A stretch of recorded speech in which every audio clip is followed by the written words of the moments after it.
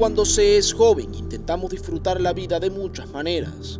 Sin embargo, en algunas ocasiones no estamos preparados para afrontar situaciones complejas.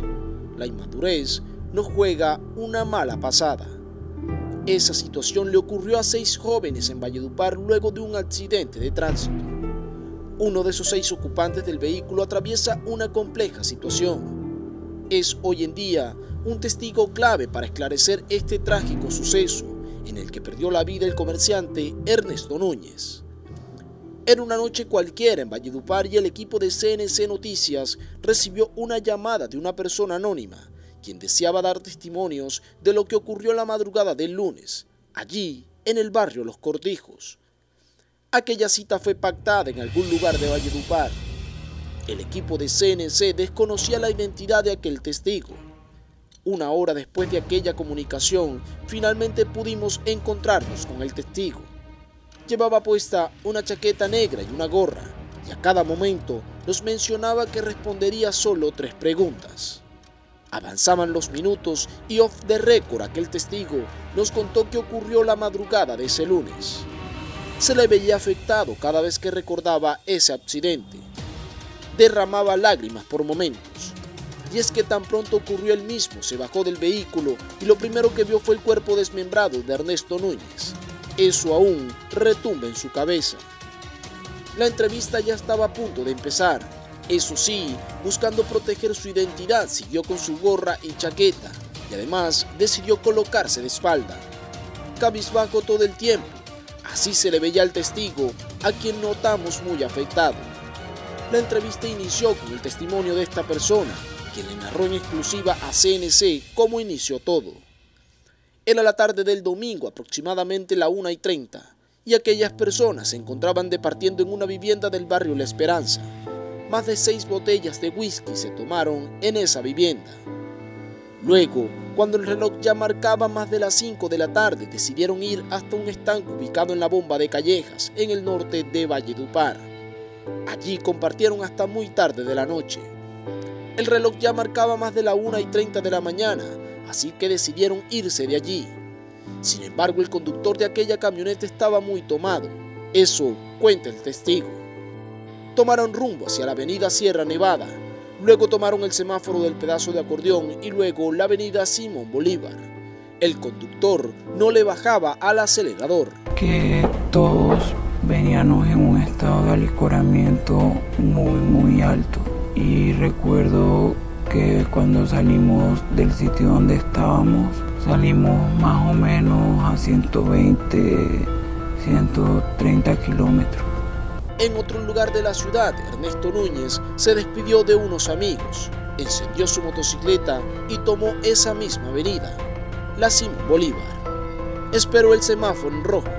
Sin embargo, pocos segundos después, como se observa en una cámara de seguridad, un vehículo a más de 100 kilómetros por hora terminó embistiéndolo.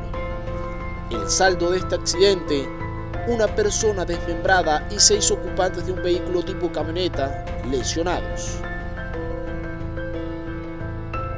Este testigo dice que todo fue muy rápido, pero que sí recuerda a quienes señalan las autoridades de conducir el vehículo, a Reginaldo Aragón Valera, abandonar el sitio sin ningún pudor. Él simplemente salió del carro y pues salió corriendo. Eh, la persona fallecida estaba más o menos como a un metro o menos de distancia. Él cuando sale del vehículo, eso es totalmente, o sea, no sé cómo expresártelo, pero él tuvo que ver a esa persona tirada ahí, no sé si por sus nervios o qué, pero la persona estaba totalmente desmembrada. Le faltaba una pierna y un brazo, es lo que recuerdo. En el lugar rápidamente se hicieron presentes muchas personas, entre ellos policías. El testigo también afirmó que logró ver cómo el conductor de la camioneta abordó otro vehículo que lo sacó del lugar rápidamente. Todas estas situaciones tienen al testigo sumido en una profunda depresión. Lo ocurrido lo ha afectado muchísimo, y es que presenció los hechos de primera mano. Este testigo envió un mensaje a Reginaldo Aragón, quien iba conduciendo la camioneta. Un mensaje claro, que hable con la verdad.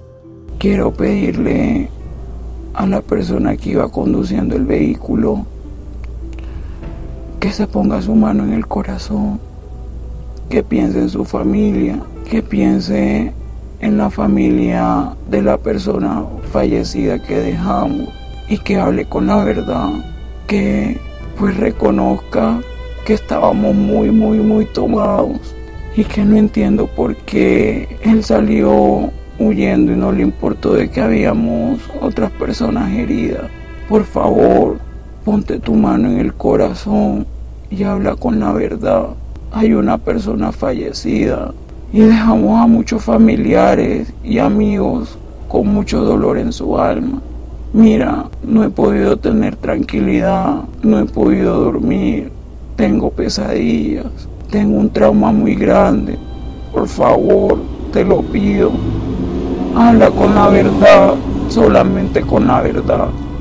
Reginaldo Aragón Valera hoy es señalado por las autoridades como el responsable de este trágico accidente y hoy en día enfrenta un proceso penal en su contra por los delitos de homicidio culposo y lesiones personales culposas. En este momento esta persona está eh, indiciada o señalada de cometer homicidio culposo agravado en concurso con lesiones personales. También existen algunas preguntas que algunos se hacen y es ¿dónde están todas esas cámaras de seguridad que grabaron todo el recorrido que hicieron estas personas el domingo?